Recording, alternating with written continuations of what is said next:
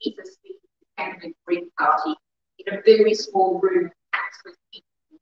That was about um, 18 years ago or something like that. Um, so just to provide a bit of introduction of where I come from and the reason why I'm here. Answer one is why I'm here is Peter asked to host this. Um, that's answer one. But I also, for the Green Party, we have three members in both houses of Parliament. Um, that is um, myself, Jenny Jones, my fellow Green here, and Caroline Now we um, divide up essentially all of the world between us. I'm mostly international issues. Um, and in that international framework, um, I do everything from I'm the co-chair the all-party parliamentary group on Hong Kong. I do work against lethal autonomous weapons, commonly known as killer robots. Um, I believe that human rights, rule of law, are indivisible and are attached to every human being on this planet. And I also very much the rights of nature, and I'm supporting the idea of the international criminal What we've traditionally seen mainstream politics and in the UK and around the world is that human rights has been something we've used as a stick to beat people we don't like for other reasons. And our allies and friends, we've ignored their abuses of human rights. What I very much, very strongly believe is that um, these are individual rights applying to everyone. We've actually developed over the past few decades a very good framework human rights. That framework is there, but it's not being applied, and the starting point for applying it is to apply it equally around the world without fear or favour, and so to say this right of taxes for everyone. Now, the practical reality, I see, there is three Green members of the Houses of Parliament. We can't possibly do everything and deal with every issue that needs to be dealt with. What I prioritise are issues where the UK can have a role. But I think we inform myself to be aware of what is happening around the world and to see where the UK could play a positive role. So, for example, one area that I've done a lot of work on over the years is uh, the issue of UK arms sales in Saudi Arabia, which is something that I regard as a could take immediate action on. So that's where I'm coming from. I'm very much looking forward to today to learn a great deal more about the issues of Balochistan. The title of today, Baloch Lives Matter, that to me there are so many different first places and, and peoples we could put in that sentence. And they all deserve attention and action from the British government wherever we can. So that's starting out where I come from today. I think most people have probably seen the agenda. So we've got a number of speakers. The schedule doesn't allow a lot of time for Q&A. I always believe that dialogue is better than monologue, so I'll probably squash my own time to allow a little bit more time for if we do that. Um, but I think that's probably enough of an introduction. I think we've hopefully got everyone who's coming along here today now here. So what I'm going to do um, is hand the floor over. But before I do that, I'm also going to have to mention that you'll see, um, if you look at the screens behind you, literally behind you, behind you, you'll see this green, this green bell going ding, ding, ding. If the red bell goes ding, ding, ding, that means I have to go and vote.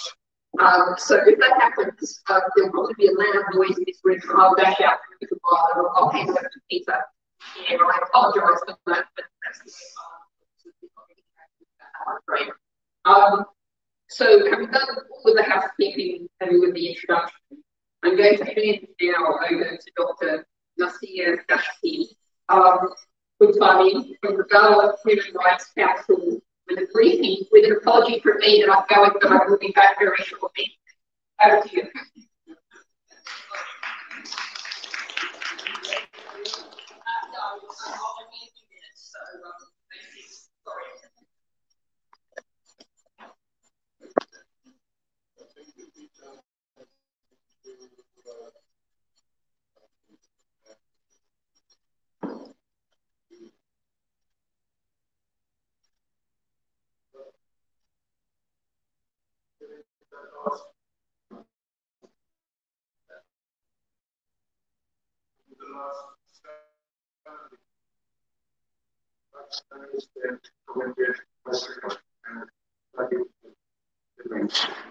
Um, a policy. Since 2002, these sections have increased exponentially. The help the auxiliary militias takes part and religious outbreaks.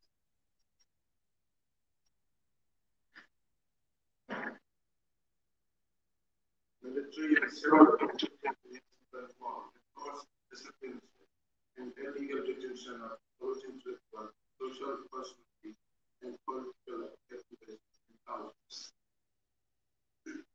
Jumping larger thousands of dollars special and political activists with marks of and human jobs are become a teammate of politicians.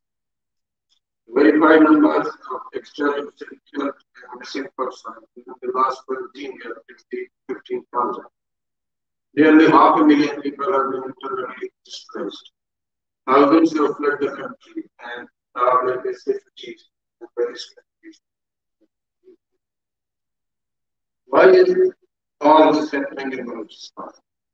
Understand this, understanding the context of the Balochistan relation with the After the Second World War, the British Empire withdrew from India. However, to safeguard the strategic and economic interests of the West from a Cold War perspective, it has to be implemented its long-term strategy of dividing India and creating equals. For this, the colonial administration used the pressure because the India the. Officials of colonial office asked the pro-populist Muslim League Party to demolish straight out of India for the non-existent nation of Islam. Amazingly, the Christians, the Muslims, and of other religious faiths in India were not declared nations, and no state was created for them. The creation of Pakistan came out of the blue for the region's nations, which were aspiring to be independent after the withdrawal instead of the Baloch, Sindhi, and Pashto. Only there was a change of colonial master they were incorporated against their will into the current state of the colonial power. Pakistan is a purposely created state from war perspective. Is perhaps a unique example of the world's political history.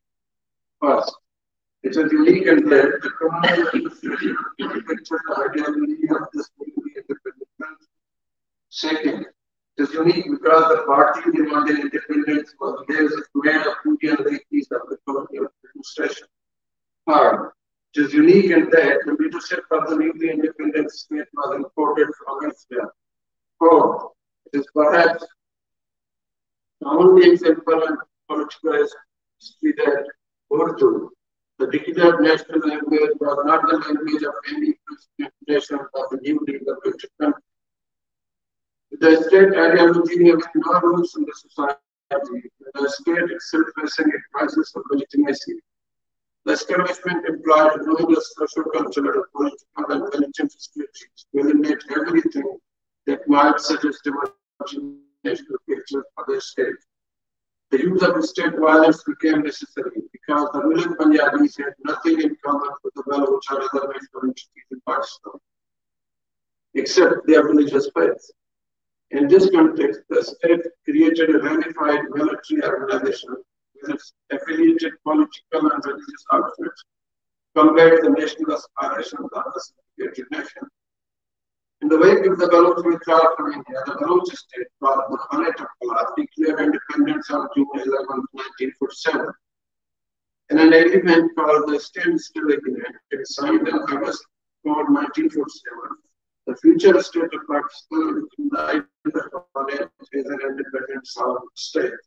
However, after nine months, it invaded and annexed the Baloch state on March 27, 1948.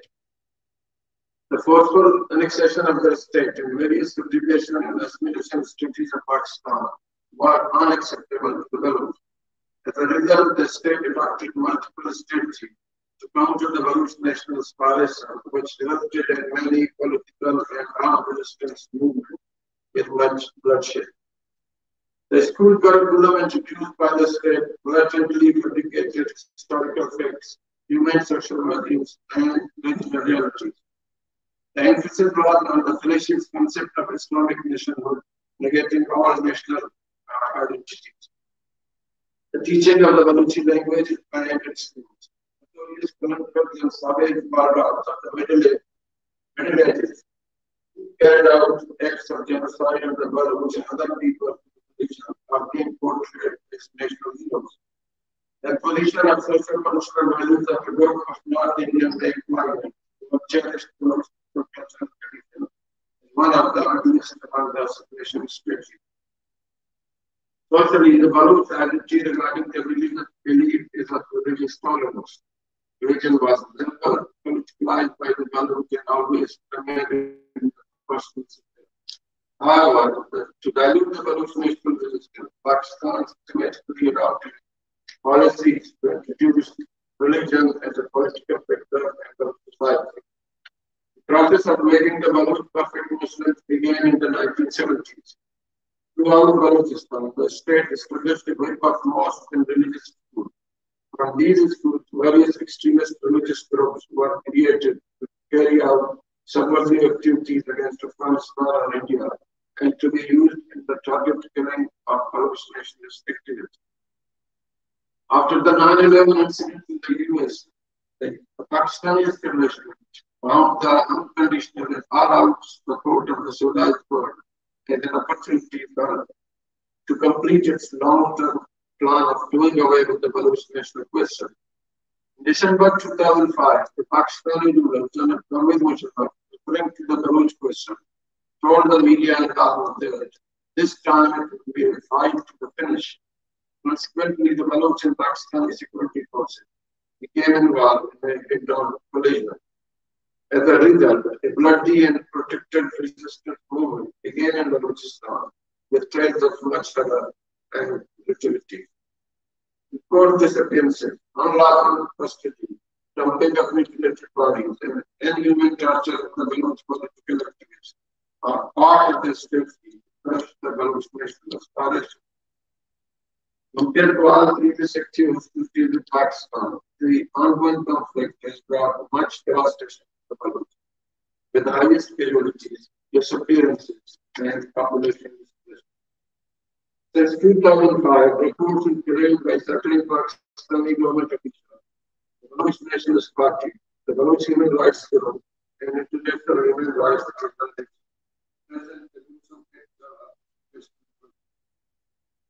Dumping of influential bodies of missing persons has been nearly 20 years. Security agencies physically the parties in foreign money. They are carrying out the induction of activities. They keep them in legal detention, and human trafficking, and then dump their legislative parties They are doing this in collaboration with their local agents. These agents are primarily antisocial and extremist religious organized by state security agencies in various parts of and in identifying, kidnapping, and dumping bodies of the. They are popularly known as the Army Various human rights organizations, including the Human Rights Watch, there had been an uncertain number of missing persons and mutilated bodies in recent months. According to the data collected by the Human Rights Council, the Kenyan policy had brought brutality to the province to unprecedented level. From January to June 2002, when 201 persons became victims of enforced disappearance. In addition, security forces extrajudicially killed 59 and their mutilated bodies were discovered in various districts. Since 2000, several new cantonments have been established in Balochistan, making the number of cantonments six, practically converting Balochistan a war. After every 25 kilometers, checkpoint has been made either by regular army units or personal forces. But Pakistan is waging its war in Balochistan without connections. There has been the international in our. Even the diplomats of donor countries whose traditions Pakistan is sustained cannot go to the interior of Pakistan. As a result, uh, there has been a total blackout. The gross human rights violation is bringing much devastation to the people.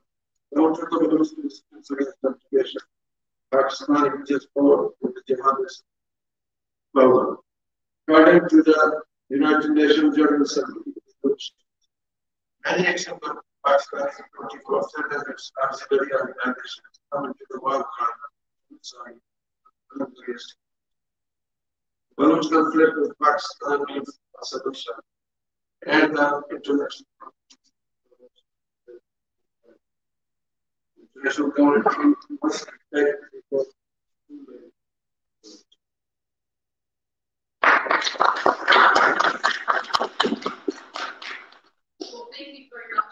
to all I do have Paul Perron, who's my intern and PhD student, who's taking notes behind me, so I will catch up later.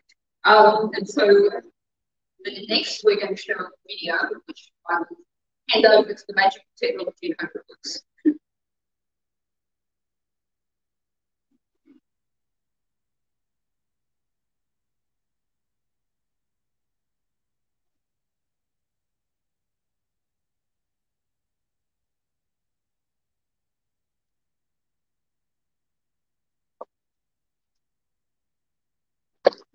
In 1666, the Federation Baloch tribes the first Baloch and at that time was the Khanate of Kalat.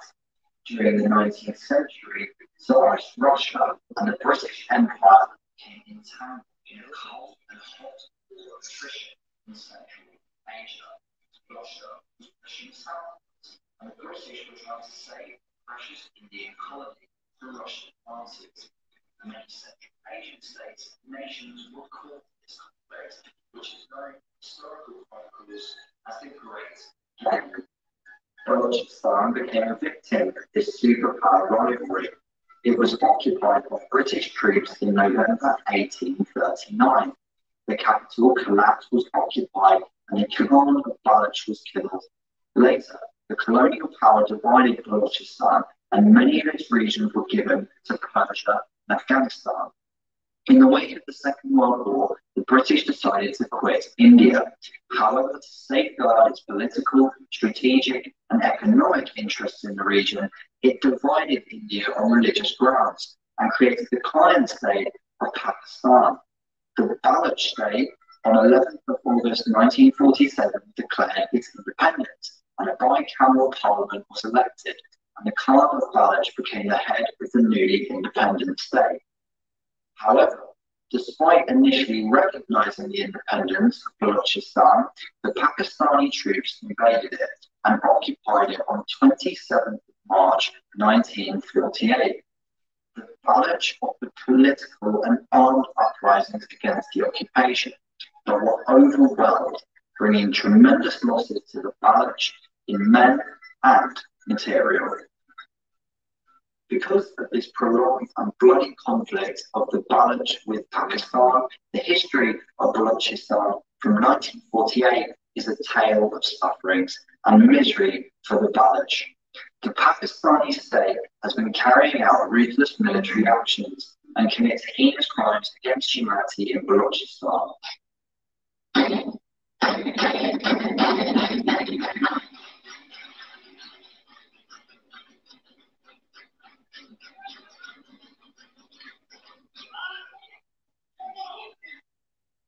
The human rights violations in the region have many aspects.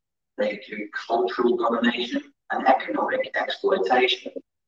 They include enforced disappearances and illegal detentions, abductions, torture, political activists, students, journalists, intellectuals, and human rights activists.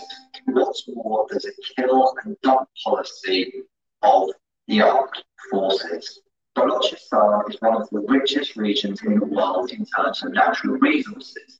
The national wealth of Balochistan has been ruthlessly exploited by Pakistan since the beginning of its occupation. In recent decades, China has emerged as the main exploiter of the Baloch natural resources. The China-Pakistan Economic Corridor, or CPEC, is the face of this colonial practice. Cultural domination is another aspect of the human rights violations in the region. Balochi language is not being taught in schools. Instead, North Indian language has been declared as the official language of the state and medium of instruction in educational institutions. The thousand years old Balochi language is at the verge of extinction. In the school curriculum in Pakistan, Baloch cultural and societal norms are being ridiculed as un-Islamic and the Baloch are defined as barbaric. Baloch entry into the corridors of power has been systematically blocked. Any political activity demanding the rights of the people is being regarded as anti-state and anti-Islamic. The genuine Baloch leadership has never been allowed to represent their people in the power circles of the state. As a facade, some of the social outcasts, drug traffickers, and religious fanatics, which are loyal to the army and members of death squad, are being selected as the representatives of the Baloch people.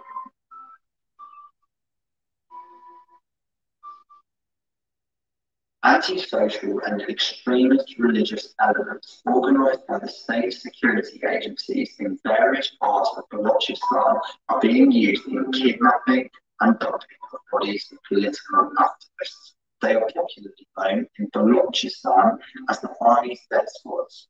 They act in conjunction with the security forces. In most of the documented cases, the perpetrators acted openly in broad daylight sometimes in busy public areas with apparently little concern for the presence of numerous witnesses. Political activists, writers, singers, poets, human rights defenders became victims of the army's proxy death squads since the start of the present century. On many occasions, the mutilated dead bodies of those killed have been found dumped in desolate areas Balochistan. The security agencies pick up human rights activists, journalists, doctors, teachers, political leaders, student activists, and tribal elders and keep them incommunicado for years. These people are dubbed the missing persons. The fate of hundreds of such people is still uncertain. In September 2010, Defense of Human Rights, an Islamabad-based human rights group, has put the number of missing persons at 1,700. The human rights groups have registered verified cases of the missing and disappeared persons. Sardar Akhtar Mengal, leader of the Balochistan National Party, submitted a list of missing persons to the National Assembly in Pakistan. The number increased from 82 in 2011 to 1,257 in 2015. The total number of missing people during this period is 3,732. During the last two years alone, 1,230 individuals have been added to the list of missing persons in Balochistan. Because of the atrocities, thousands have fled their abodes and are now living as refugees in various parts of Pakistan. Thousands have fled and are seeking asylum in different parts of the world.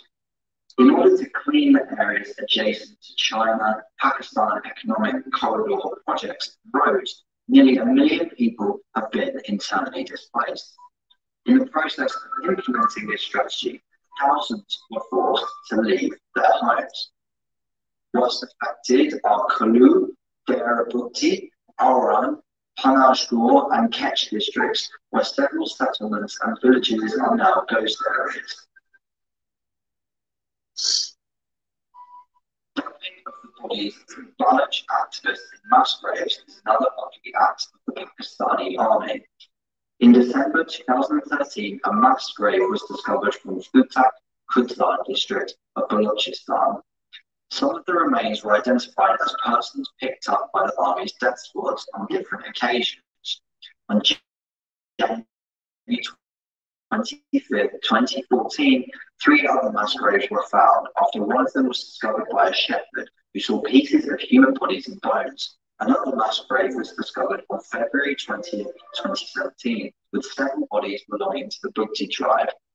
Besides this, on several occasions, mutilated bodies of Baloch missing persons were found floating in the Indus River.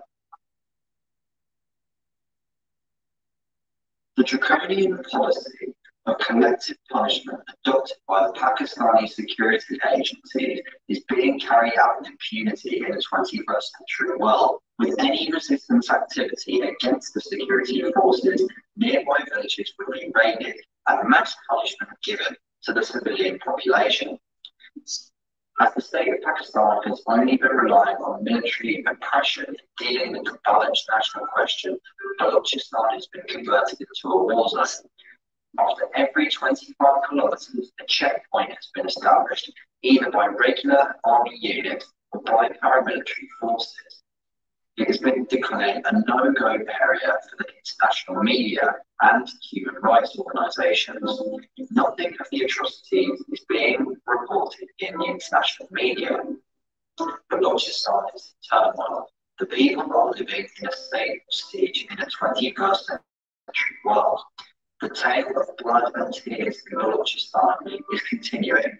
Many actions of Pakistani security forces and its auxiliary religious or extremist organisation clearly come into the category of war crimes according to the United Nations General Assembly resolutions. But disgusting fact is that the international community and the civilized world is keeping a blind eye towards what Pakistan is doing in Balochistan. In the Pakistani war in Balochistan, the gross violation of human rights need immediate attention and intervention from the international community. It is high time for the world to recognize Pakistani actions in Balochistan as genocide, according to the UN definition of the term. It is also imperative that the international community must also realize that it would not help to keep separate standards for those who committed genocide in Central Europe and Africa, for those who are committing genocide in Balochistan. For Baloch, who is facing the worst of atrocities and genocide acts, needs the help of the civilized world in a meaningful way before it is too late.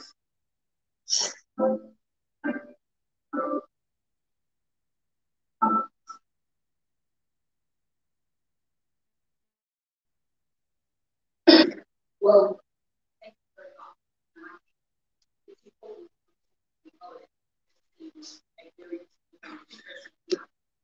something that undoubtedly many people in this person. So I'm going to suggest that just for a moment, take a moment of silence to think about that human suffering. And whether Paul and I really on now about what we take. So let's, for a moment, just acknowledge that emotion, take a moment of silence. Thank you.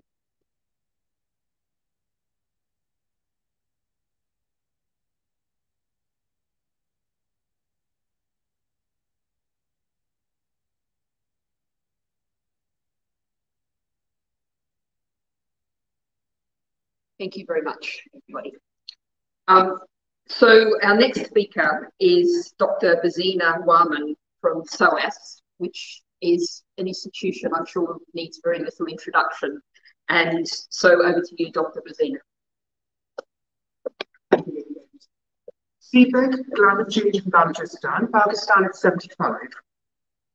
When I lectured at the Palace of Westminster in 2017, thanks then too to the Green Party's invitation on Pakistan at 70, I noted, quote, Writing in 1943 after a four-hour meeting with Muhammad Ali Jinnah at his Delhi home, American diplomat and President Roosevelt's special representative, William Phillips, noted, quote, The more I studied Mr. Jinnah's Pakistan, the less it appealed to me as the answer to India's communal problem, since to break India into two separate nations would weaken both and might open Pakistan, at, least, to the designs of ambitious neighbors. Close quote. I think Sri Lankans five years on would agree about, quote, ambitious neighbors as we reflect on Pakistan generally and Balochistan particularly at 75. Dr. Dashti has undertaken the onerous task of yet again focusing our attention on the harrowing conditions and continuing human rights violations in Pakistan's largest, least populated, and least developed mineral-rich province. I propose to discuss matters that are of immediate concern to our host, the Green Party, and so my lecture will deal with Pakistan's environmentally unsustainable, financially unfeasible, and politically uncertain growth and development. I think seven years on since CPEC, China-Pakistan Economic Corridor was formally declared in April 2015, the much vaunted $62 billion package totaling 17% of Pakistan's GDP is not quite the game changer so many so naively cheered on. 51 agreements and MOUs were signed, initially worth $46 billion. CPEC's four components, broadly speaking, are Gwadar Port in Balochistan, infrastructure development, energy projects, and industrial zones. Chinese face and pride, those indelible Oriental features, have led to designate CPEC as the flagship of its Belt and Road investment. China's Marshall Plan, putatively worth $1 trillion, which involves 140 countries, including Switzerland, and is approximately seven times more than what the US spent in post-war Europe's recovery. What does the BRI seek to achieve besides projecting Chinese soft power and goodwill that was purported at the UN's Economic and Social Council April 2017 workshop? Sustainable Developmental Goals, SDG, in consonance with the UN's 2030 goals, which of course will be of consequence to the Green Party, Lady Bennett. And so we are told fulfill the five categories of SDGs. People, planet, prosperity, partnership, and peace. All of these, much to the chagrin of Pakistani officialdom, are questionable. Peace?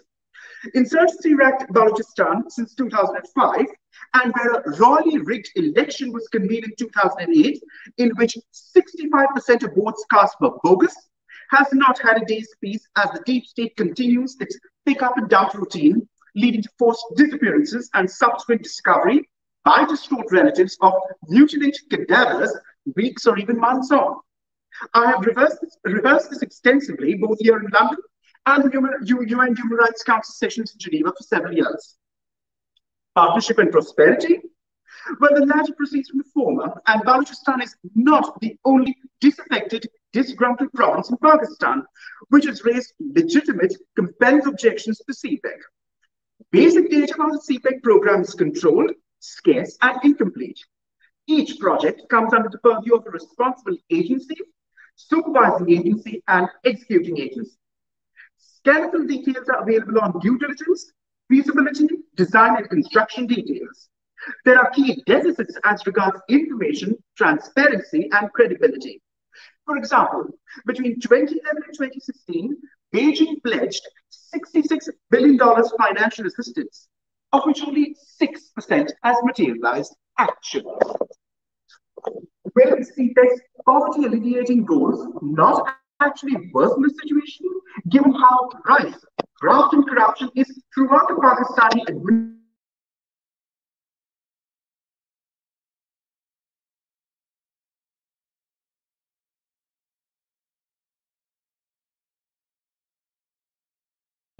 bailout. Pakistan has been bailed out 12 times since 1988. As for the provinces, what about peripheral ones such as the NWFP and Balochistan, who have justifiably pointed out whether the Punjab will not be disproportionately benefited? If CPEC is supposed to harmonize development in a fractured, fissile society, then we must inquire how Balochistan, an underpopulated province with a yawning dearth of literate, skilled, gender balanced labor and low income levels will benefit since internal migration will predictably disrupt the condition of the local labor force and breed resentment and alienation. And what of Balochistan's strategic warm water natural harbour port, Gwadar? Land has been expropriated from local Balochis who have not seen a penny due in compensation.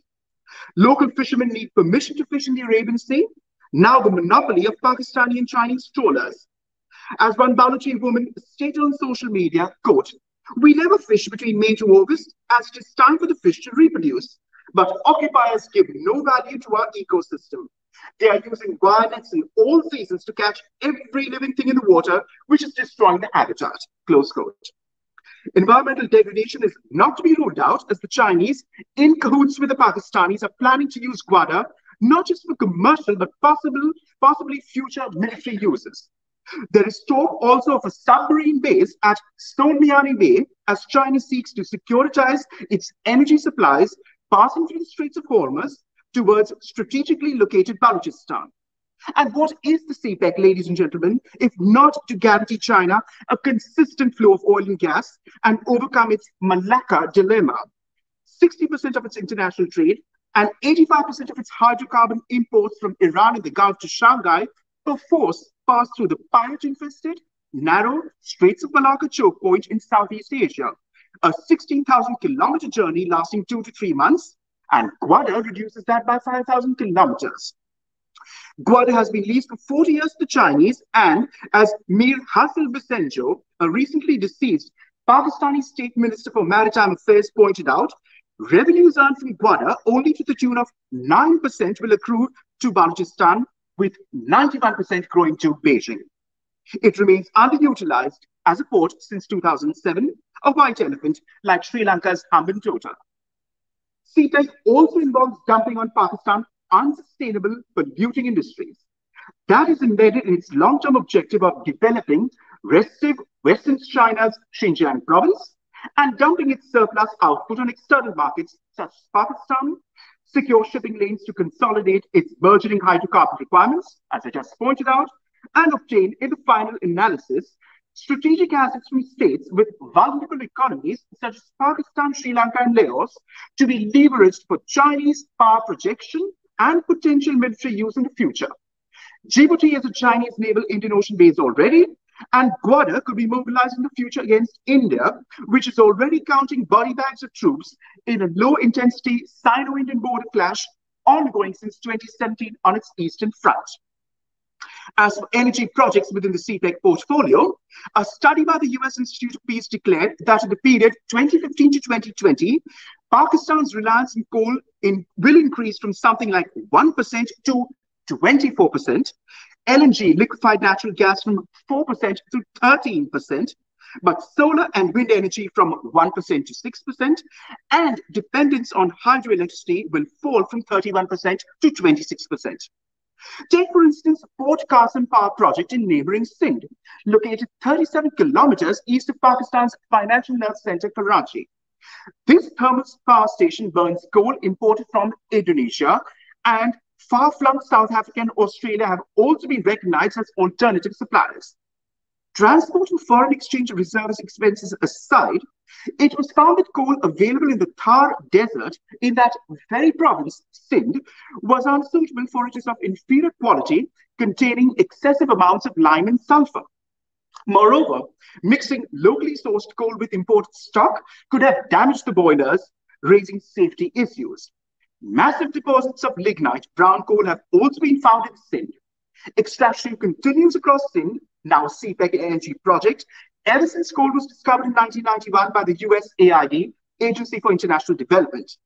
It is the 16th largest coal deposit in the world, and drilling has led to the discovery of potential deposits worth 175 billion tons of coal, which is equivalent to the combined total oil reserves of Saudi Arabia and Iran, thus leading Pakistan to source its energy requirements locally for at least 300 years. Further, as regards infrastructural projects, such as arterial highways and railways, there has been no comprehensive discussion of building a new or upgrading existing infrastructure. Will new investment overlook existing transport networks and, in so doing, not trigger environmental degradation by a waste of physical and financial resources? Ambiguity persists whether Pakistan has negotiated trade agreements which would maximize returns for local markets. All CPEC projects are negotiated on an intergovernmental basis with Chinese firms selected by, naturally, China and financing details, including terms and conditions that are publicly not disclosed. No figures have been made available by the Pakistan military as well, which has raised a 13,000 contingent of army battalions and civil armed force wings to secure the entire CPEC corridor, where Pakistan begins and ends. Balochistan to Gilgit-Baltistan, both rested regions in slow burn secessionist mode, whose denizens, 75 years on, retain a complicated sense of being and belonging. Thank you. Well, thank you very much for that very informative talk. And I think there's an interesting demonstration in there about how models of development issued by both by China, Pakistan, and the United States um, uh, are a huge problem environmentally, socially, and in terms of human rights. And um, you know, I can't help, of course, thinking with my green hat on about how different it would be if the focus was on solar development which could, of course, be power that was decentralized, controlled by local people, sold by local people, and what a different kind of development model that could be behind that. And I think that also, what you were talking about, the fishing um, and how small scale local artisan fishing can be a really important resource, whereas industrial hoovering up type fishing is a huge problem for so many parts of the world. So I know we're going to have Q&A at the end. So anyone who's sitting there they'd like to ask, do keep them in mind. Um, I do want to make sure we have time for that. But in the meantime, I'm going to move on to our next speaker, who's Dr. Lakhumal Luhana, the General Secretary of the World Sindhi Congress. Over to you. Thank you very much. Thanks to Baroness Bennett, Peter Tatchell, and BHRC to organize this. There are only 14 minutes left, so I will be really very, very brief. In March 1948, when Pakistan occupied Balochistan, that has been 75 years. And in these 75 years, there are two things that have remained constant. One thing that the killing that the Pakistani state started, that has never stopped. And then the fight of Baloch people for their survival and independence and freedom and human rights has also never stopped. In these 75 years, Tens of thousands have been ruthlessly murdered. And these tens of thousands are one of the finest sons and daughters of Balochistan. The intellectuals, the teachers, the poets, the political activists, the political workers, they are dividing the society of the intellectual cap, eh, capital that make the society to move And those tens of thousands that are who are missing, we don't know their fate. So those these are the people who, I mean, their lives have been snatched. But those who are condemned to live, I tell you very small an incident that one of the Sindhi political activists, young, he was he was extrajudicially killed, and people went to offer their condolences and his father said he's, he, he was fortunate that he, he was killed because he don't now have to go through the pain and suffering and slavery and humiliation. I'm unfortunate because I have to die every day. I have to, I have to go through that pain. I live in slavery and I, I, I go through that humiliation. And that is the life of all those Baloch people who are condemned to live. Just imagine, you won't believe the statistics. In Balochistan, I mean, we say this is the official figures. We we say it is much more than 70% of the children between the age of 5 to 16 have never seen school. And to the girl education, they are more than 80%. They literally live in medieval times. See, Balochistan makes the 42% of the area mass of Pakistan and only about 12 million people. And as Dr. Naseer said, 1 million people are displaced. It means 1 in 12 Baloch people, they have to, they were forced, they were coerced to leave their motherland. And that is the situation. There are no roads, no, no, no, no hospitals, no, nothing. And what is our fault? What is our crime? Yes, we Baloch and Sindhis have done a crime, and that, that is why we are being punished. And our crime is that 80% of wealth of Pakistan comes from nowhere but Balochistan and Sindh. Because the entire strategic, geostrategic importance of Pakistan entire that comes from Balochistan and Sindh. That is the question is that literally this is one of the most ruthless army in the world that has committed not one, numerous genocides. Genocide in, in Bangladesh, genocide in Balochistan, genocide in Sindh, genocide in, in, in. They don't have care of any, any care of, of life. And we, the people, in these circumstances, are standing against that. And in that situation, the saddest thing is that, uh, say, what we talk about, inter- the human rights, they are universal. And every human, because the human existence, the, the, the entire humanity, they came to this conclusion that human existence is conditioned by the human rights. If they don't have human rights, they don't have they don't have human existence. And literally, every human right, every every every uh, freedom and human right that is guaranteed in the United Nations Charter of Human Rights is literally denied everyone. So what life can have there? The question is about the international community in these circumstances where the odds we don't compare with these days. because our saddest thing is that all the resources that we have that are ours that should be used for our people pakistan take these grasp these loot these and use them to strengthen their, their killing machinery killing us and the international community the, the the the countries they support pakistan why they support pakistan why they put this blind eye towards the human rights violations because of the Pakistan's strategic geostrategic interest. And that doesn't come from anywhere, that comes from us. That is our geostrategic interest. So it is really very important. Pakistan is a country which is really, they these, these countries know bigger, much more than us. There is no other institution. It's only military. There's no parliament, no judiciary, no nothing.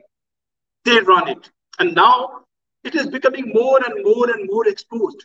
And it is they really are, the international community are playing with the fire.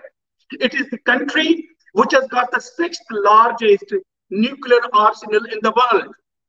It has got one of the, say, uh, one of, it has got the largest per capita soldiers in the world.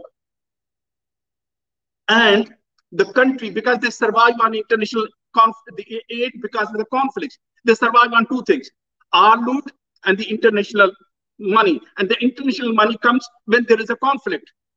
They were supported from very beginning, 50s, 60s, 70s, 80s, 90s, 2000, because there were conflicts. These conflicts now they are changing situation. And therefore, there, that money isn't coming that extent. And therefore, our loot and our operation, uh, our subjugation and our suppression is becoming really, really ruthless.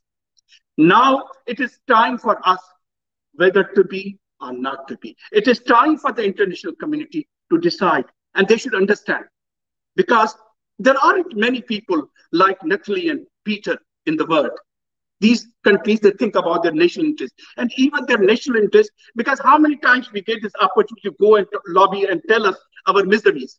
We will have this. How many policymakers will listen to this?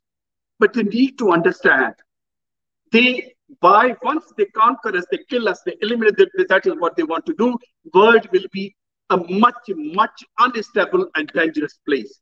They need to understand this. And we need to carry this message. And this is our SOS call to them. They are killing us, they are eliminating us. And it is your duty as a human being to stand by us and to support us, to, to fight against this, to, for the survival of our people and for our motherland, for our dignity and for our freedom. Thank you.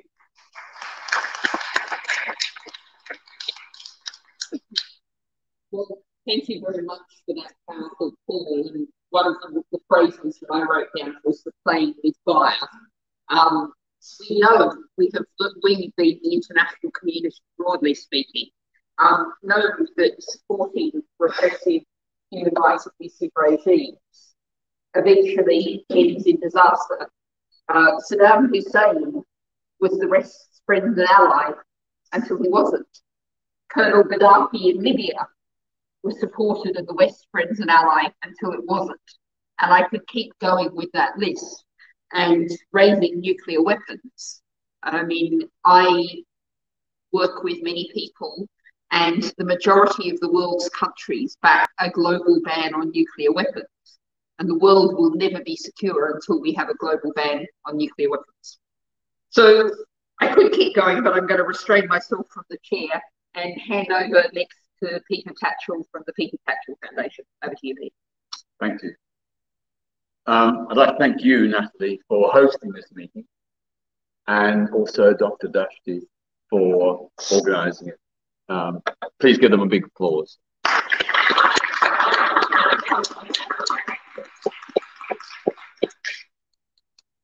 I pay tribute to the previous speakers who have outlined the problem in great detail and with great urgent necessity. What I'd like to do is focus on how we get from where we are to where we want Balochistan to be. So I want to look at some practical things about how you build a movement and what that movement needs to do to be successful. Now, the ideas I'm discussing tonight have been ideas that have been worked out by Baloch activists with me over several years. These are ideas that we believe are, if you like, a roadmap for peace and self-determination in Balochistan. We're not saying they're the be-all and end-all, but they set out a series of ideas about how the Balochistan movement gets international recognition and successfully puts pressure on the international community. So we came up with the idea of six stages for peace and self-determination, a roadmap modeled very loosely on the Vietnam peace proposals when Vietnam and the United States were at war. They came up with a, a roadmap to de-escalate and to conclude a peace agreement. So these ideas are drawn from that kind of model.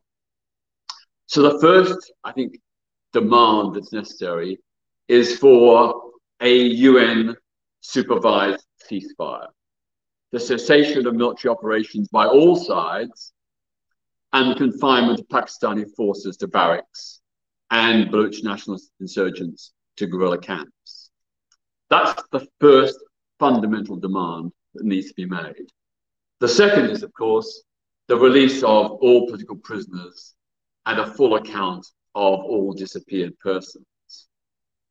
The third is to have open access to all parts of Balochistan for media, aid agencies, and human rights organizations.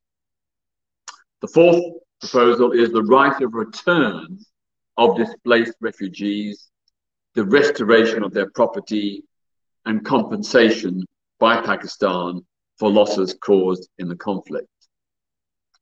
Fifth is an end to the inward colonization of Balochistan by non-Baloch settlers. And sixth, a UN supervised referendum on self-determination, offering the people of Balochistan the choice of remaining within Pakistan in some form or going for full independence. Now, those kind of six proposals, I think, are a roadmap, a set of proposals that can be put to the international community and to Pakistan to move forward in a concrete, practical way. Um, the other big issue that we face is that it is very unclear to the international community what the Balochistan National Forces want. And that is why, together with Baloch activists some years ago, we drafted a proposed Balochistan Freedom Charter, which also has six points. And they were first, social justice, equality, and human rights for all Baloch people, including, very importantly, gender rights for women. And I have to rebuke you. Uh, there are only three women in this room. No liberation movement will ever win and has ever won in history without the support of women. You're fighting half your strength. So that's an issue that really does need to be addressed within the movement. Uh, the second is land reform, the right of every adult person to have a share in land ownership. Third, the general redistribution of wealth and power to all the people of Balochistan. There are incredible social inequalities within Balochistan society at the moment. Fourth, a secular state where people of all faiths and none have equal legal status and where no religion is privileged in law, government, or public institutions. Fifth, democratic and personal freedoms, including free multi party elections, the right to protest, the right to strike, freedom of speech and the press, as enshrined in the United Nations Universal Declaration of Human Rights and in the United Nations International Covenant on Civil and Political Rights. And sixth, a UN Commission of Inquiry into disappeared persons, the victims of detention without trial, torture, and extrajudicial killings, leading to a UN special tribunal to prosecute human rights abusers for war crimes and crimes against humanity. This Freedom Charter was devised very loosely, but inspired by the Freedom Charter of the African National Congress in South Africa. Again, a clear, practical set of ideas and principles that South African people mobilize around to end apartheid. So, what I'm really saying is to get where you want to be, you have to have a plan, you have to have a roadmap, you have to set out what are the key demands to ensure a negotiated settlement. Now, of course, Pakistan is not likely to negotiate in the foreseeable future. But the international community wants to know what are your terms and conditions for negotiations? So, as I said, you know, the cessation of all hostilities, the ceasefire, um, the release of all political prisoners, and so on. You need to have those practical, concrete proposals to satisfy the international community that you have a plan. And then, secondly, the international community wants to know what will you do if you have power? Are you going to turn Balochistan into another Islamist state and wage terror around the world? No, of course you're not. But you need to spell that out to reassure the international community that an independent Balochistan will be democratic with equality and human rights for all. Now, just finally, I want to suggest some interim proposals that the movement could be focusing on. Um, and the first is to pressure for a halt of all Western arms sale to Pakistan. As you all know, many of the arms sales to Pakistan are currently being diverted. They are intended to fight Al Qaeda, ISIS, and other terrorist groups. But they're actually being diverted to suppress the people of Balochistan. And those weapons include, for example, US supplied F 16 fighter jets and Cobra attack helicopters that have been used to bomb Baloch villages, destroy crops, killing civilians and livestock. Now, it happens to be that under the Leahy Agreement and the Foreign Assistance Act in the United States, it is forbidden for Washington to provide weapons to foreign armed forces that contravene human rights. So the question is, why are US arms still being funneled to Pakistan despite the demonstrable human rights abuses and war crimes in occupied Balochistan? I would say that you need allies in the United States to try and enforce the Foreign Assistance Act and the Leahy Amendment um, to ensure that those arms sales are curtailed. Second point is that the United Nations should appoint a special rapporteur on Balochistan, like it does in many conflict areas, uh, to investigate, monitor, and report to the General Assembly and the Human Rights Council on human rights abuses and ethnic and cultural discrimination. Third and related, a UN fact-finding mission to urgently assess independently the deteriorating human rights situation in Balochistan. Fourth, Pakistan should be pressed to lift entry restrictions and permit free entry to Balochistan to aid agencies, journalists, and human rights defenders in order to ensure the delivery of aid to the impoverished population, to enable free media reporting about human rights abuses, and to allow the documentation of the effects of military occupation. Fifth, the military and intelligence chiefs in Pakistan should be prosecuted on charges of war crimes and crimes against humanity under international humanitarian law including potentially via the International Criminal Court or via a UN special tribunal, as was set up in the past in the former Yugoslavia and Rwanda in response to the human rights abuses there. In particular, prosecutions should be initiated against the former military dictator Pervez Musharraf and the ex-head of the 12th Corps, Lieutenant General Nasser Janjua. In the interim, international arrest warrants should be issued for all those Pakistan military and political leaders who have been involved with or colluded with war crimes and crimes against humanity in Balochistan. And then, sixth, the bringing of civil claims in the US courts by Baloch victims of human rights violations by Pakistani state officials using the Alien Tort Claims Act. This is a legislation in the United States that has a universal jurisdiction.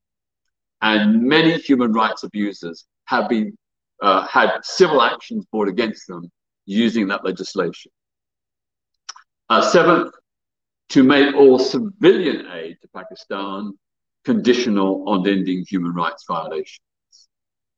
Um, until Islamabad complies, all aid should be withdrawn from the Pakistani government and where necessary, switch to local and international aid agencies that conform to international human rights norms.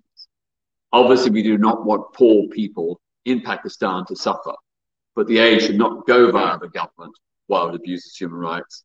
It should go via other agencies. Um, eighth, a boycott, disinvestment, and sanctions campaign targeting Pakistani government, military, business, and intelligence officials who are implicated in human rights abuses in Balochistan. And sixth and related, the implementation of Magnitsky sanctions. The United States and Britain both have passed Magnitsky Acts to bring human rights abusers to justice. Key Pakistani military and officials uh, and political leaders should be put on that sanctions list. They should be forbidden to travel. They should have their bank accounts seized and other assets and so on. Those laws already exist in about 11 countries right now, including Britain and the United States. My question is, why aren't they being enforced?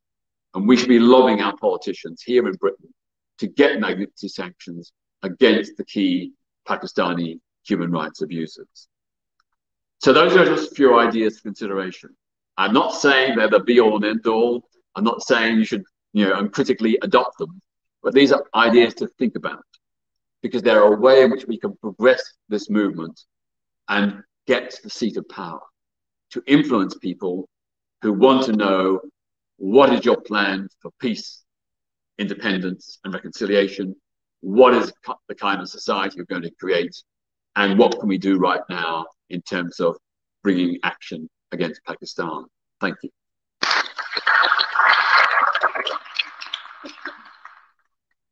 Well, thank you very much, Peter, for that typically clear and comprehensive and ever so slightly daunting, have a bit of a gasp moment uh, list. Um, I think the schedule says that I'm now supposed to talk 10 minutes, which I'm not going to do. Um, I'm just going to offer a couple of thoughts and suggestions of what the limited support that I might be able to offer. And I think I was very pleased, Peter, that you got to the Magnitsky style sanctions, because that is a new, I think we've seen really very powerful toolkit which is an interesting case study for a broader point, which is that is something that came about entirely through civil society campaigning.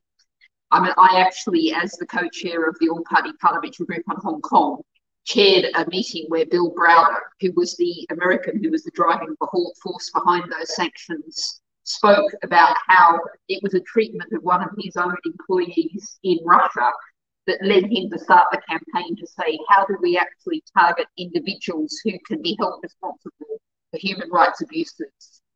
And I think it's now a very powerful tool. And what's interesting about it is that it started out, it wasn't a government decision.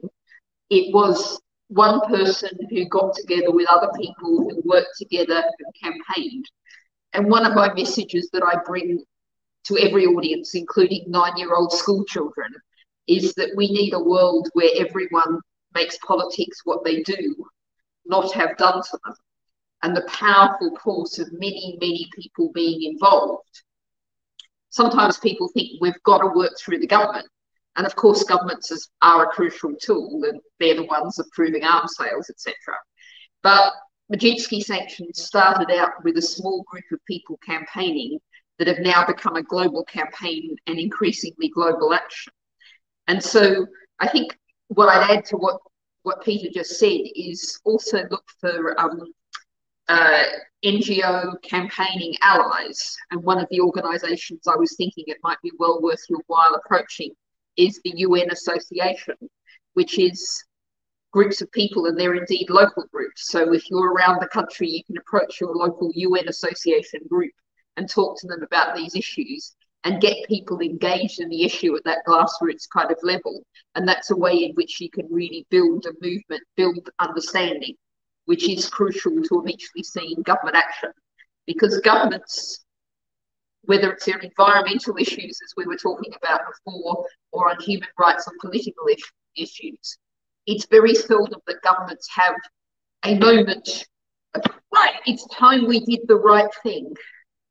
They have to be pushed by social pressure, by campaigning, by people working together to make them do the right thing. And you know, I hope today and the lists that Peter has just given and the discussion we've had, you know, is the foundation of that. So I do want to, on that dialogue better than monologue, making politics what you do, now very much want to open the floor and encourage people to ask questions. We're obviously not going to re- arrive at any resolution of Peter's plans there. But you know, perhaps if there's something that particularly struck you and you've got a thought or a question, or if you've got questions to any of our other speakers, um, I will ask to try and get some people in to not be too long, but we'll try and get as many people as we can. And I see I've got a, I can see two hands. All right, I can see three hands, so I'm going to go one, two, three. We'll take that, and then we'll come to the next round. We'll take those three contributions and then come back. Thank you.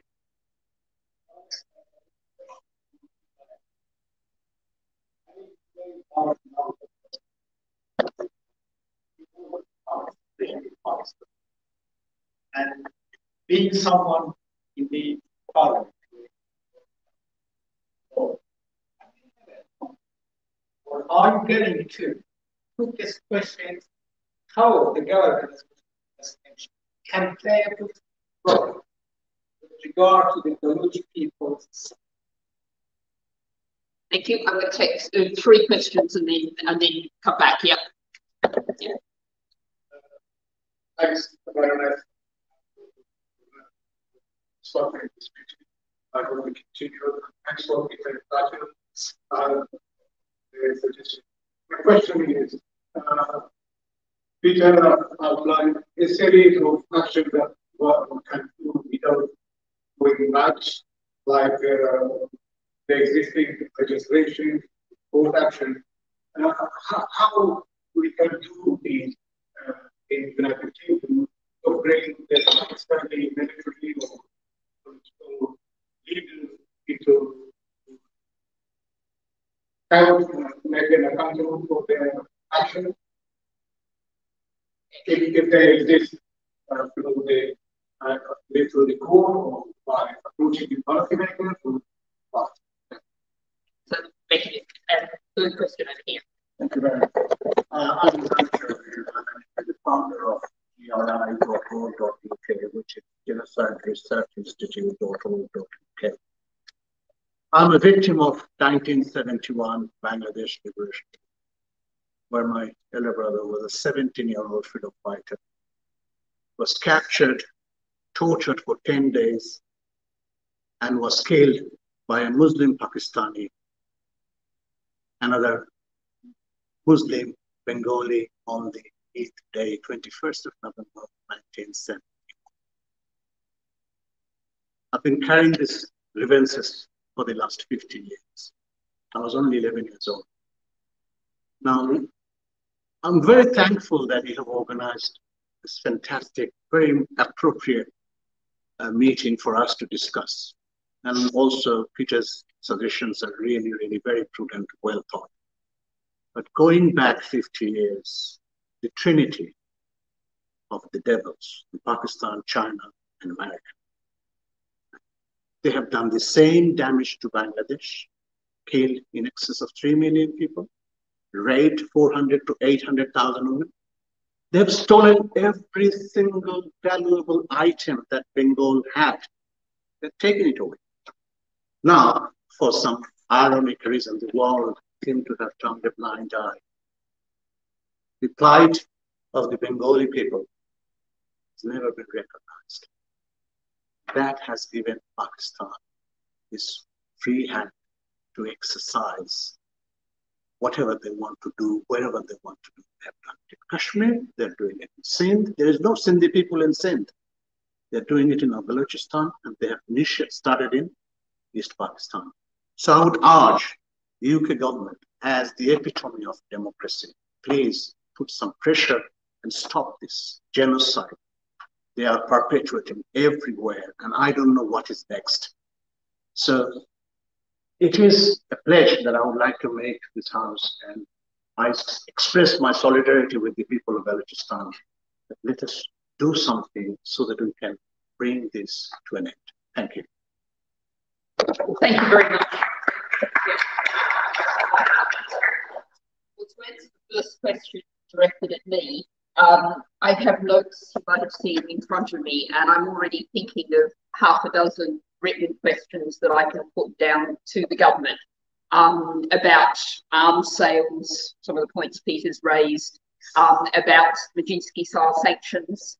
I, I know what answer I'll get, which is they don't talk about it, but I can still say, have you considered Magnitsky style sanctions against person X, Y, and Z?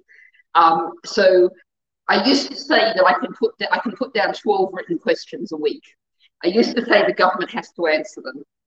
I now say the government has to provide some text in response, which is not quite the same thing. But nonetheless, if the answer is inadequate, I can then come back with a follow-up question. So my starting point will be to ask the question that the government has to put some statements about Balochistan on the record. And that's where I'll start. And just to pick up your point, Ivan, I mean, I would frame this all in a very much even longer political context. Um, if anyone hasn't picked up, my accent comes from Australia originally. And I grew up on the lands that were stolen from an Aboriginal people in Sydney by white settler colonial. I'm a descendant, descendant of that white settler colonial. Uh, if you go back um, when the East India Company arrived on the Indian subcontinent, the Indian subcontinent produced about 25% of the world's GDP. And if you go down the road here, you can go, if you happen to go into the Foreign Office, uh, the first time I went in there, I looked at all of the marble and all of the gold and you know all of the very fancy architecture. Indeed, you can look around here with much the same thing, and thought that's where the wealth of the Indian subcontinent went. Um, and that change from 25% of global GDP to a tiny fraction was because it was robbed. And that's a pattern that has continued for a very long time. But that's not a council of despair because these issues now are being talked about in ways that have never been talked about, certainly except at the very fringes before. You look at the Black Lives Matter movement that has had huge impact in the in the US and the UK. There is now an attempt to start to address some of the issues of history. Um, I was just reading a, a German university is looking to try and change its name because its founder was an anti-Semite. There is a real engagement happening now. So you're starting at a very good time for the frame to, to look at that. Uh, and then I'm going to hand over to Peter for the how do you, how do you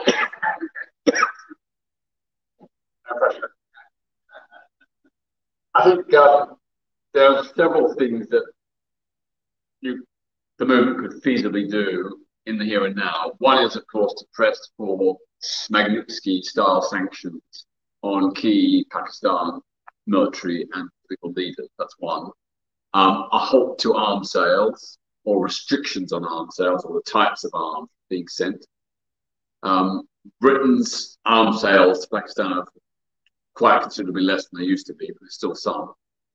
Um, the issuing of international arrest warrants um, and making aid conditional on human rights observance. That is supposed to be the British policy, but quite clearly is not the case. And then there was the question of boycott. Um, I'm trying, you'll probably help me. What is Pakistan's main export to Britain? If you can identify that. well, if, if, there's any tangible product that that that, yes. that, that Pakistan exports, then a boycott of those. Um, but for things like Magnitsky sanctions, international arrest warrants, what is really crucial is to provide evidence. So we can't simply say these people are abusing human rights. We have to have names, dates, places, consequences. So really, ideally, what you need are legal affidavits by victims of Pakistan's human rights abuses. And these could be many years ago or more recently, doesn't matter. But provided they're in, a, in, a, in the form of a legal affidavit or a, a statement with you know witnesses signed, um, that is what you need to get any movement on Magnitsky sanctions or on international warrants. Governments will only act when they have verified testimony corroborated by victims and others about these abuses. So I would say that that's something that really the movement needs to aim for very urgently to get those statements. Now I know there are some statements out there, and some statements I think have been put through the Human Rights Commission of Pakistan. Um, um, but I think you need to focus more on getting those and collating them in a form that would be acceptable in a court of law. So it's basically legal affidavits, you know, signed by the victim with witnesses and, you know, signed by a legal, a solicitor or other uh, legal person. All right, I think we've got another, at least one more round of questions. I think perhaps one of the women, I, yes, because um, I do actually just want to say that I would very much echo what Peter said about the need to make sure women are involved. So without putting that pressure on you, your question first, thank you.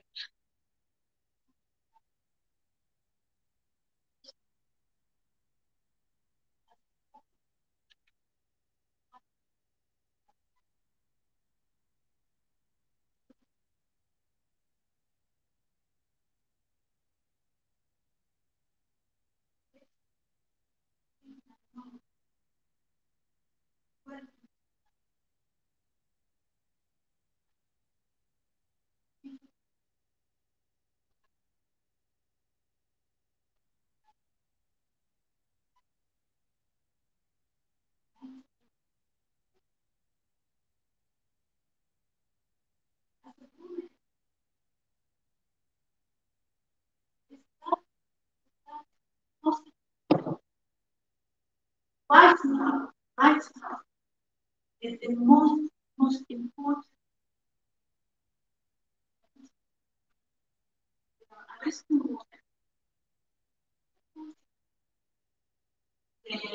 The rate, the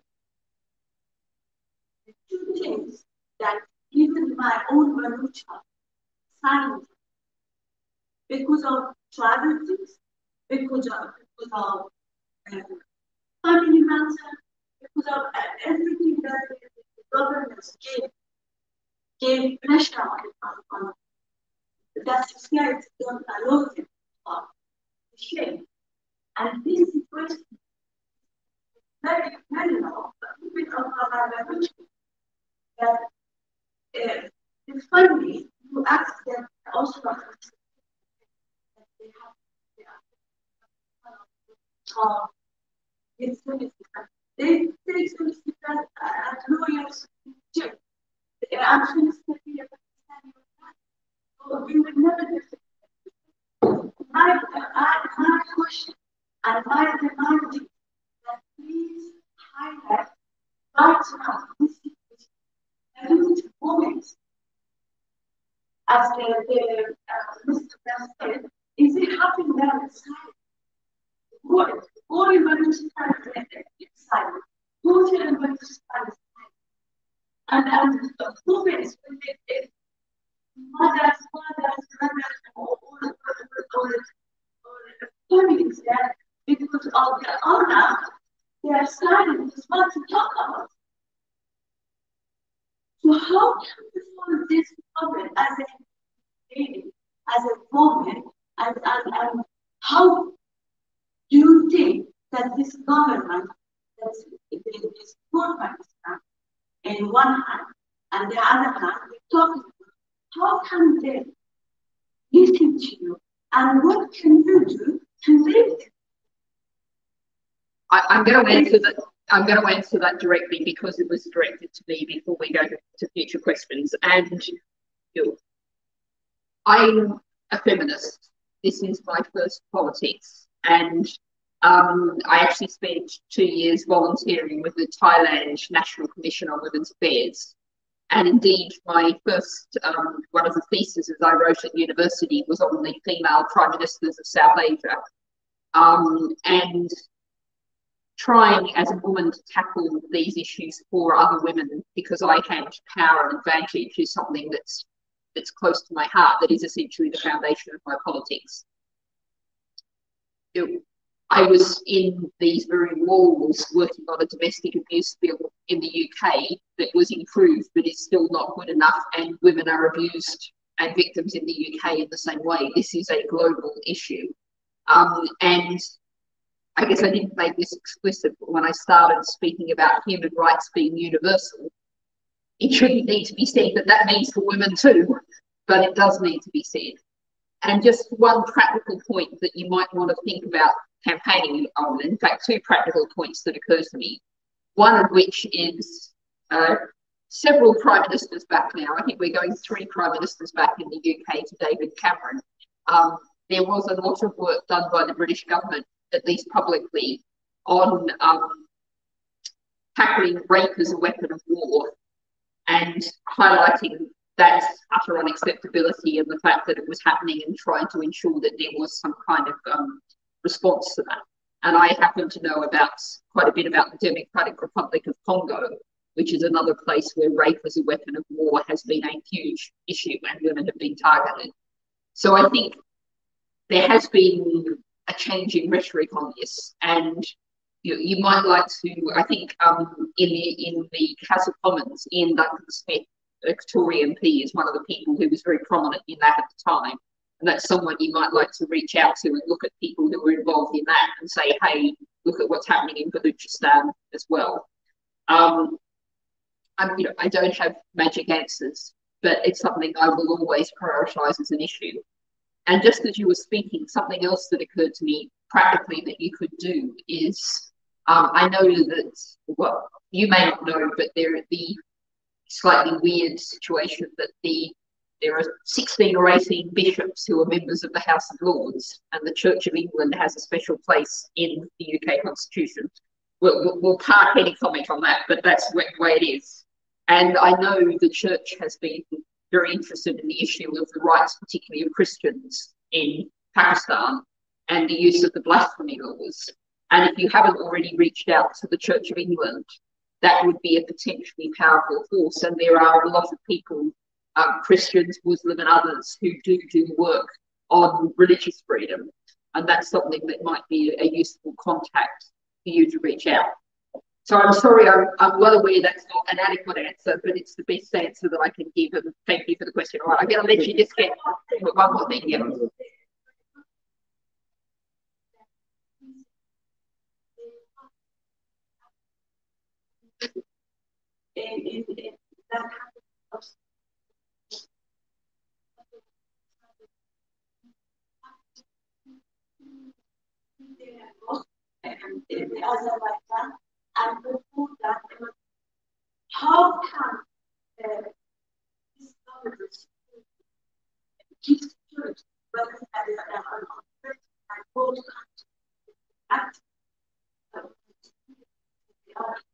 or uh, they don't know how where to go, who to trust.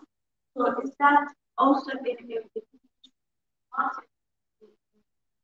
Like if you have one years ago, Iran had killed a lot of countries.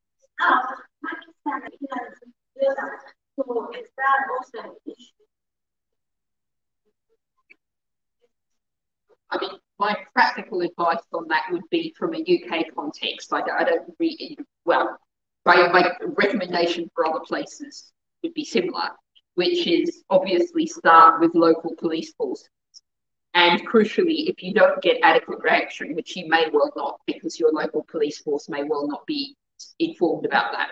Um, in the UK and certainly most similar political systems, you, wherever you live, your local MP has a responsibility to help you if you have an, an issue with local officialdom, i.e., the police not helping you. So, so my practical advice would be go to the police first if you don't get an adequate response then go to your local MP. And that's just a, piece of practical advice. I think you know certainly somewhere like Canada would apply also. Um, and it's certainly something I'm aware of. Again, I know Hong Kong students in the context of China's abuse of human rights in Hong Kong have suffered at UK universities. And I know that the Uyghur um, people have also suffered enormously from that of Chinese state interference around the world. So it's not you know, this is an issue. Again, there's no magic solution, but start with police and then go for the political route would be my recommendation. Okay, I'm going to, all right, yes, beside you, and then the gentleman over there and the gentleman there. Yeah. Okay.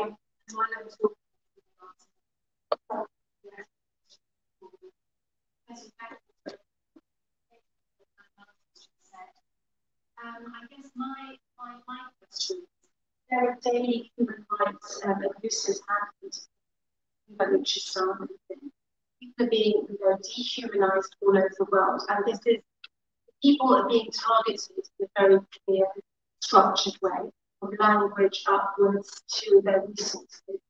On a daily basis, uh, what can we do to save the campaign of Baluchistan I'm going to take the next question, which was over there. Yep.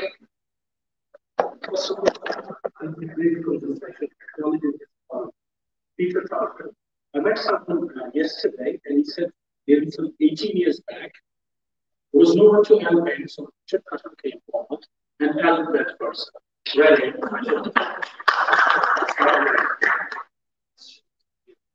Is it possible that uh, if uh, a committee is formed and they visit villages and you effectively meet the people. Uh, is it possible to a parliamentary committee is made on Balochistan? Okay, and there was a question over here. I did pick someone out. Yeah. So my name is Shahzad and uh, my question is specifically with regards to the foreign aid, basically, as you mentioned, it's very should be conditional. When I was just reading through, Pakistan was one of the top three recipients of foreign aid from UK. After even uh, Ethiopia and Afghanistan, they are the second and third. And there are almost 305 million pounds and a CUK's taxpayer money as well. And being from British, uh, then Britain, is the question that taxpayer money is spending, but what are the priorities? One, and there is, I know there is already committee in place. They're questioning and investigating the impact of this whole aid given to Pakistan uh, This is a question that this committee should look into the what portion has been spent on Balochistan. What was the priority? What were the priorities? As uh, mentioned that you know almost our more than 70% children are out of school in primary level. And hardly our children, there is high infant mortality ratio in Asia, that is Balochistan, where the DFID money is going. And lastly, if there is a committee, they should look into it that uh, in terms of NGOs, because I'm one of the kind of, I will not say victim, but like I was regional head for Action Aid UK in Pakistan. But this UK-based organization, we were, uh, you know, closed and shut by government of Pakistan. Despite our efforts, despite our transparencies, uh, we were told to leave the country. And you know how it affects when, when UK-based NGO is working since 13, 40 years. And we had all over the world Pakistan. And difference was because Action Aid spoke about rights, environment, governance, and economic as well. So my question would be, would you, is it possible if you would recommend committee that they should, uh, you know, again, look into the details, how much was spent in Balochistan, sorry if I'm repeating. And then again, if there is any additional aid, I, I know there is 200 million more aid to Pakistan. If this should be conditions, conditioned based on the rights conditions of Balochistan. Because Balochistan is 48% of Pakistan, and they show our pictures to get funds, to be honest. They show our poverty to get funds, but when it comes to the distribution of funds, we never get the right amount of support from the federal government or the INGOs. And INGOs are not allowed to work in Balochistan. I, I, I was head from Balochistan So thank you so much. There are a lot of things, but I think uh, importantly, uh, I'm sure you're in one list as well uh, in terms of the Greens, because I'm a bit closely associated with Greens as well. One of the conditions, because in Gwadar, the investment should be, I think you, Professor, mentioned very good details about the environmental issues of Gwadar, where the fisher community lost their livelihoods, one, and displacement of the communities. And secondly, environmental damage. And I always question, even my MPs there in Balochistan, that can you ask in your own parliament and the international investors that where is, I've never seen it. If you've seen it, Professor Saab, anyone in this room, where is the environmental impact assessment of Gwadar and CPEC in Balochistan? Where is that? Thank you. Thank you so much. Okay. Um, I'm aware that um, those questions were kind of directed at me slightly. So I'm going to very briefly respond to those, then try and allow time for one more round of questions from the audience. Then I'm going to ask each person who's spoken to perhaps just make one sum up minute or two. I know that's very difficult, but just so that we we have a kind of wrap up at the end, because we do want to sort of end at about 8.20 and I mean, we could keep going all evening, I have no doubt, but that's you know, this is a starting point, not an end point, I think it is crucial. So just to, re to respond to those three questions personally, um, how can we safely campaign? Um, I mean, I think we've already addressed the issues that campaigning you know, can be risky, particularly from people from Baloch backgrounds, and people can be targeted within the UK or anywhere. But I think in terms of protecting the safety of people in Baluchistan who might be relatives or whatever, um, I mean, simply you're talking about practical arrangements of making sure you don't identify people, that you use pseudonyms, that you're careful if, if you're describing an incident, that you don't identify the person who might have been the eyewitness you were reporting.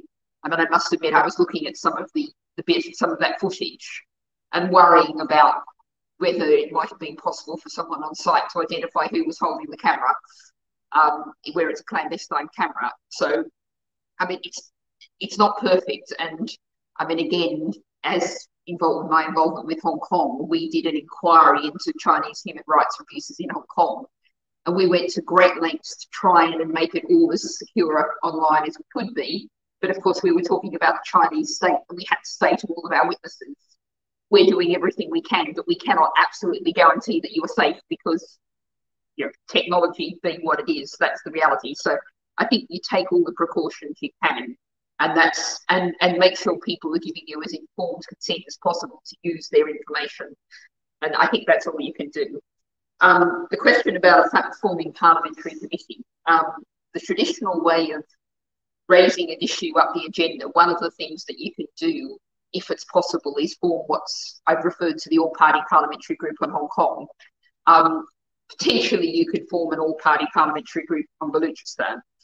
Now, some one of the barriers to that I can immediately see is to be an all-party parliamentary group, you have to have someone from all of the major parties. So you would have to identify a Conservative, a Labor, and a Lib Dem person um, to be involved in that.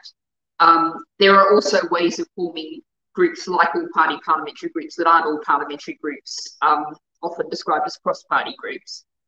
But the practical reality is support that and really make it work takes quite a bit of resources.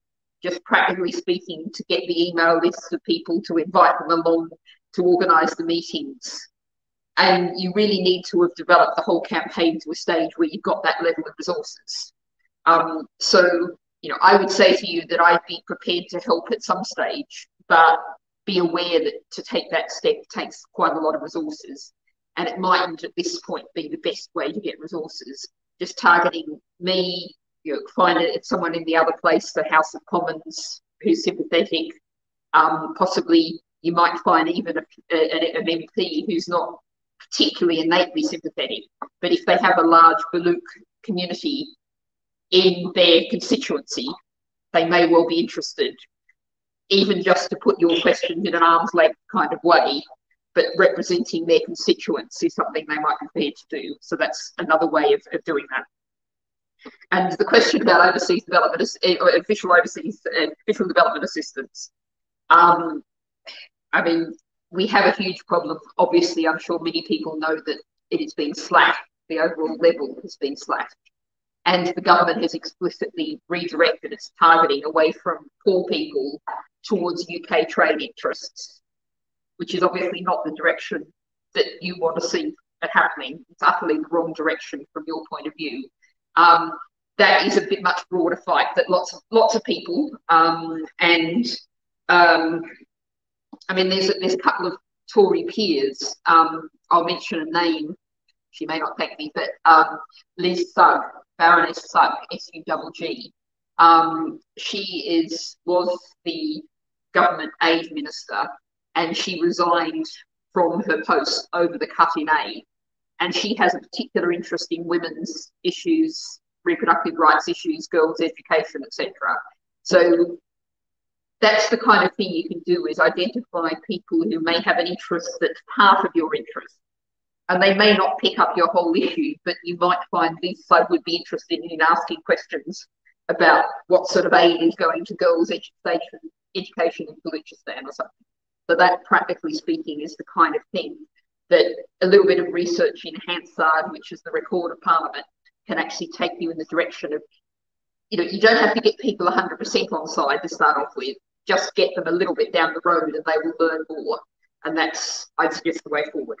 Okay, I'm looking at the time and thinking we might be able to get in three more questions and then I'm going to come to each member of the panel. Okay, I've got one hand there, one hand there, and one right up the back.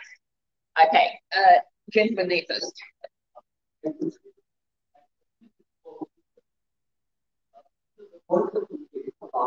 Creating this international campaign and pressure on Pakistan related to Pakistan as that Now, my question is, uh, a campaign of that kind internationally and the UN can only be necessitated and created by one of the countries.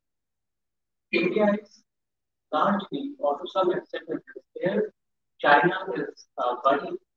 The US said categorically that it does not want uh, independence from Balochistan. So I'm a bit uh, not sure about the UK and the European stand. I think they're also ambivalent. So how we must, or where we can scatter Baloch activists across the world for just a handful, how do we probably nudge our country to take up the issue and that I'm going to come to the gentleman that's behind you just because the camera's already pointed that way, so that saves a bit of effort. Gentleman behind you, yeah.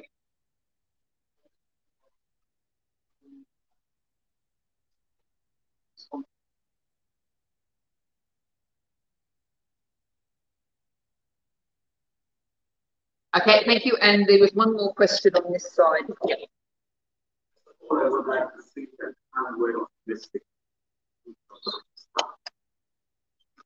May I say my experience, my own experience? When I was in secondary school, and I'm from Dashtiyari, Chabahar, the western part of Balochistan. Sitting around with my father and my mother and have a lunch together and make toil, uh, microphone because we didn't have at that time that I go can raise up my voice. So I talk with myself, with my family. Why you don't uh, listen to Baloch people? I can talk with Jerwan, but without supplies. But today I'm here in England. I have a dream. My dream is that Balochistan can be independent. Balochistan has the resources. That resources right now the Baloch people can use it. Not only the Baloch people, the people around the world. We have, I'm gonna be a part of this solution. I don't want to ask the questions because I already asked all the questions to myself. But I want to say that international community, right now, they have to straight their hands to the people. Thank you. Okay, what I'm going to do is go back to all of our speakers and we'll perhaps we'll go in the order that you spoke, just because that makes life nice and easy logistically. And if I could just ask you any kind of wrap up or answer to questions, just a, a couple of minutes, if you could, if we start with you. Thank you very much. The of the whole question was asking help from the international community. And I think that although they have not expressed it, but the Baloch people, they think that the Great Britain is some part in their miseries because they were occupied, they were divided, and then they, they created a, an artificial country of Pakistan. They forced Pakistan to occupy Balochistan because of the Cold War era conflict between the Soviet Union and the rest of the world. So that they want some kind of help from the international community, especially from the people of the UK, the UK government. That is the main thing in their all, all these questions. Okay, thank you very much. And Dr. Waghmar.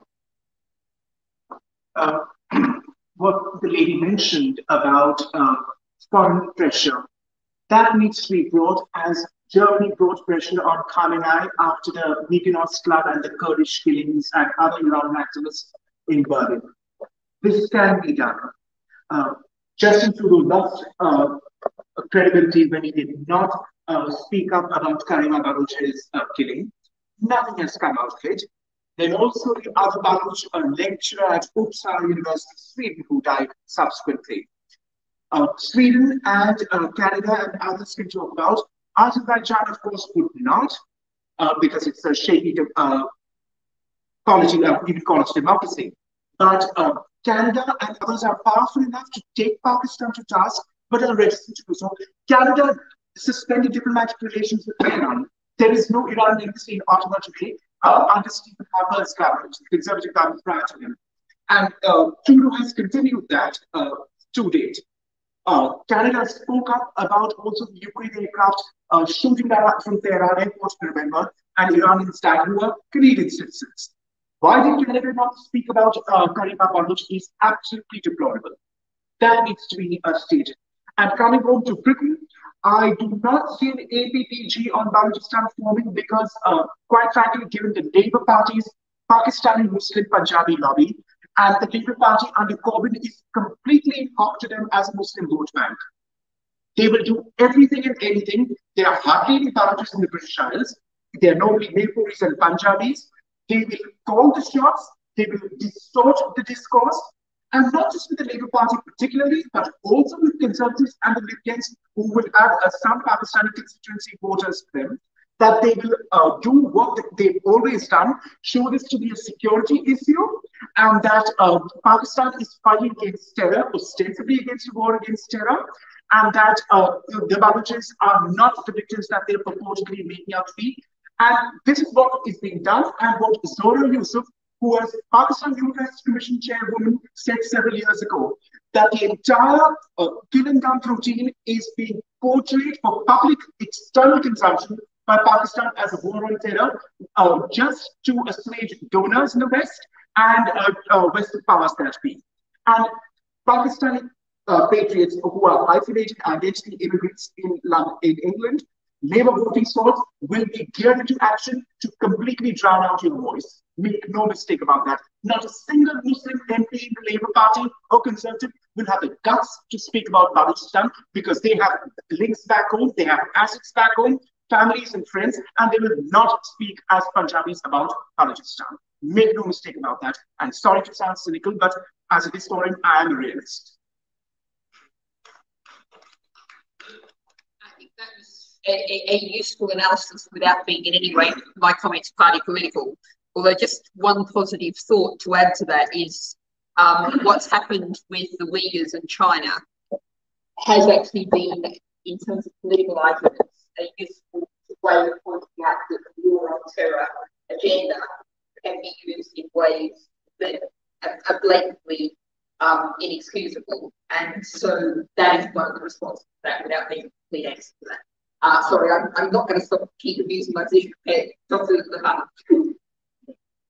Thing that is I think you look at the struggles of the 20th century nations, some of the tyrannies there isn't a single in the world which has opposed at the end of the day their.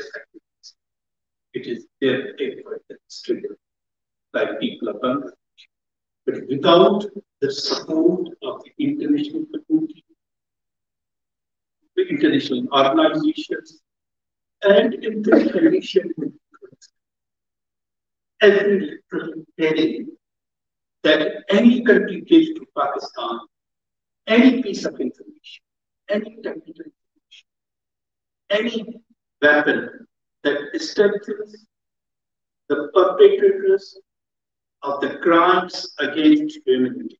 Therefore, anyone who supports them is supporting these crimes against humanity.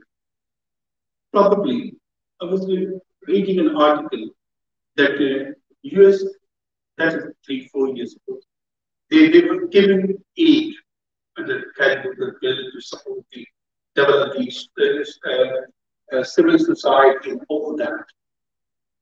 Pakistan used 300 million out of 1.2 billion that was given each year for lobbying so that they will continue to receive.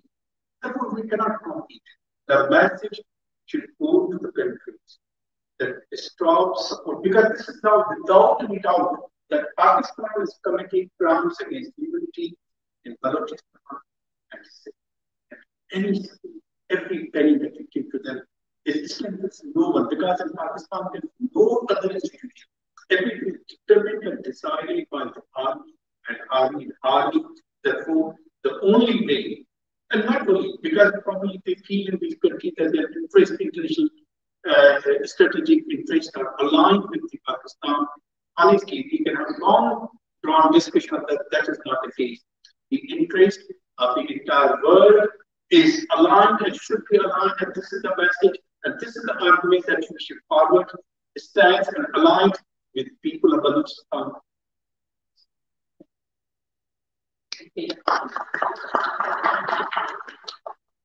In terms of the pressure in the UK government, the two strongest or easiest avenues to tackle sales either restrict or stop them or make them conditional um, and restrictive in terms of the type of weapons where they're used. And secondly,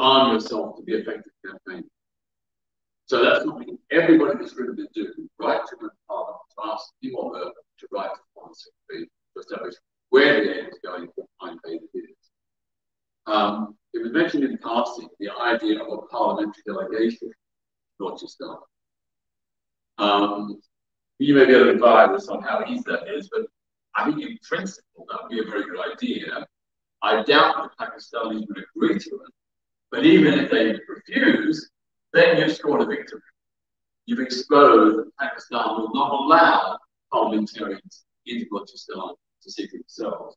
So can you just give us any advice about how you think? Um, I mean, it's usually done through APPG yeah. or through, um, uh, I mean, there's parliamentary union, um, which is um, international groups from different parliamentarians. That would be one, it's not something I have a lot of involvement in. That would be one way in which Common common.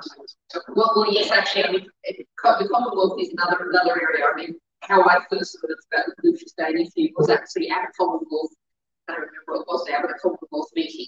So those inter-parliamentary unions might be a way in because you, know, you suggest parliamentarians they should go and look at this issue and it's so you need an organisation to go through. You can't just get half a dozen parliamentarians saying, hey, we'd like to do this. And, and the parliamentary union already the Commonwealth might be one way of, of approaching that. Yeah. I also just highlight the fact that, am I correct that David Cameron is still a consultant and advisor on CPEC? No, on the BRI thing, for BRI. BRI. CPEC, not on the BRI, which I'm pushing it uh, towards the uh, that was, I don't know statute of but he was pushing around some the big, big countries and also had uh, black shot listeners on that. That is good because those are really yes, sorry, so we don't talk too much about it. Well, in that case, the very idea to investigate if David Cameron or any other British parliamentarian or West parliamentarian is involved and seek to lobby them. Um, the final thing I'd just highlight is the imperative of dark unity. The movement is so fragmented, so many different groups, um, some tribal, ethnic, and family and dynasty related, others political. Um, no divided movement ever wins anywhere. You have to see your differences and work together. and I've said this many times, that getting unity around core agreed points, like some of the ones perhaps I've outlined tonight, that is the way forward. You look at, take West Papua, which is the um, Indonesian occupied part of New Guinea. Um, there they have disparate political movements, but they're all united under the United Liberation Movement of West Papua. All the different groups, tribal groupings, political groupings, ethnic groupings, and so on, they all come together under this one organization. And that gives them much greater clout. And they are getting slow. They started like you from nowhere. And now they're getting, you know, an international voice. It's slow, but they have credibility, which they never had before while they were fragmented. So I think unity, people being willing to think their differences around, you know, the basic six points I outlined, we could all agree that. Release of prisoners, you know, a ceasefire, you know, Pakistan bring to the barracks, all those kind of things you can all agree on. You may have other differences, other disagreements, but you can all agree on those four points. That should be the basis of which you work together. With the same Africa against apartheid. The United Democratic Front, which was the legal movement inside South Africa, apartheid, brought together all the disparate organizations, student groups, church organizations, trade unions, diverse political movements. They all came together in the United Democratic Front. And that's how they got power and influence. Unity is absolutely paramount.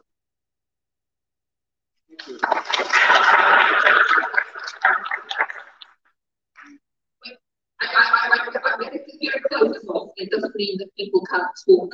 And, and I'm going to have to ask you leave fairly quickly. There's temptation to stay and talk forever, but that's unfair to our security people. But um, this, I think, you know, I'm going to just say a few words to finish up. We are out of time. But um, I, mean, I think what Peter just said about the message of is clearly absolutely crucial. I can see lots of putting heads around the room, and that's something obviously to work on, and it's never easy. Um, but you know, find what you can agree on and part whatever you may disagree on of society is really important. Just a couple of practical thoughts for me to finish on, just because they occur to me. Um, again, I have no idea whether he's prepared to be prepared to pick up this cause, but there is uh, a member of the House of Lords, Lord Alton, David Alton, who used to be a Liberal Democrat and is now a crossbench for a non-party person, who is very much seen as the House's champion of international human rights and has done a huge amount on particularly Uyghurs and also Hong Kong. And I have no idea where he might fall in this or where he might have special interests, I don't know he certainly be someone worth approaching.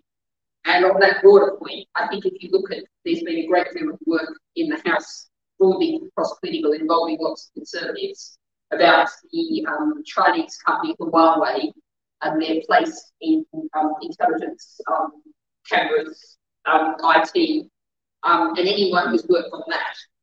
And this may be something that gives you an in.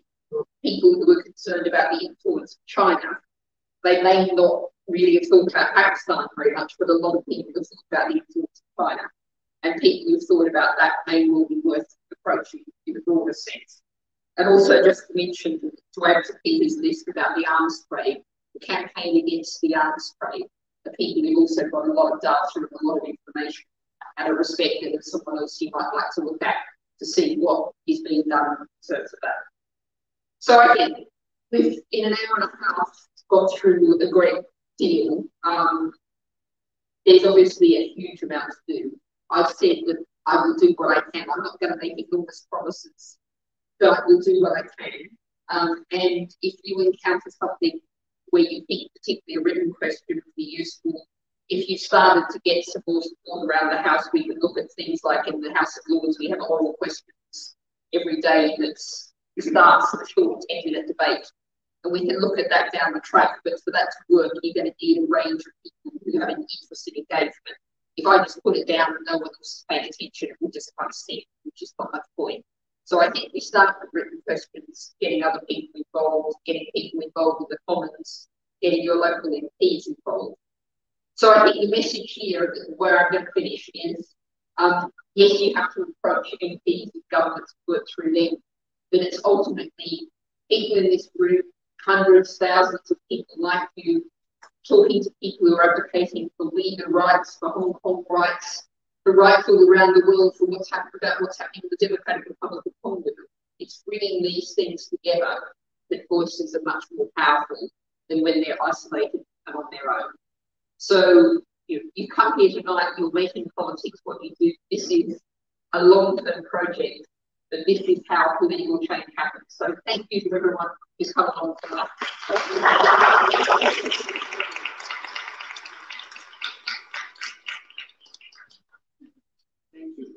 I ask someone with camera to photograph the speech? All right, and I don't think we have got to the answer to the question about email lists. Um, I don't know if anyone's got any arrangements for, for circulating contact details. I'm sure we haven't got to an answer on that, which is an important question, I can't answer, but I know someone can.